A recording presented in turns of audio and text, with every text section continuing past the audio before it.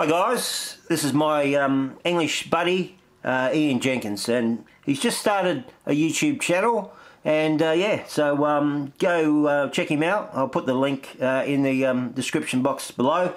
He's um, he's going to be in the Philippines um, in a month or so and um, yeah so he's gonna I believe he's gonna knock out some videos in the Philippines but uh, he's got a couple here uh, in England and so if you, you want to see a bit of England and uh, the old dart, as they call it, and uh, see see the pommies in action, as we um, we call them jokingly here, the Englishmen uh, in Australia. Uh, so um, anyway, uh, yeah, so I'll, I'll, leave the link in the description, and uh, I've got a real treat tomorrow. I've got um, to me a superstar in the making, a, um, a vlogger, a Filipino vlogger, um, who I've only just found out about recently. And um, so somebody sent me a, a link to her.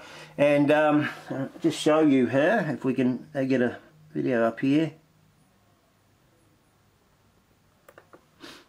And this is the lady here. So uh, um, yeah she has got a fantastic um, video channel. And um, the um, quality is just great. The qu quality of the film uh, there's no real shakiness. Uh, it's very clear um, the con content's fantastic, uh, great soundtracks, and she speaks uh, really good English, and, and, she's very funny as well. And it's and she really relates to people, which is um, something I um, love to do. You know, get and meet the locals and all that. You know, so. Um, yeah, so uh, everything, if everything goes uh, well, I'll uh, be doing an interview with her tomorrow. Um, it'll just be over Facebook, but um, anyway.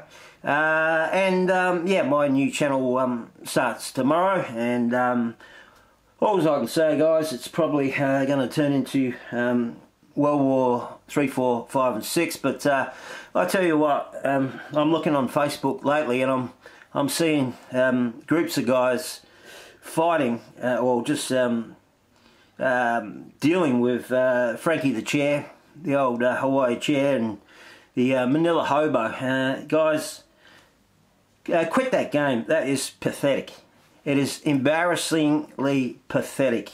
There's uh, bigger fish to fry than uh, that sort of stuff. So anyway, thanks guys. Thumbs up.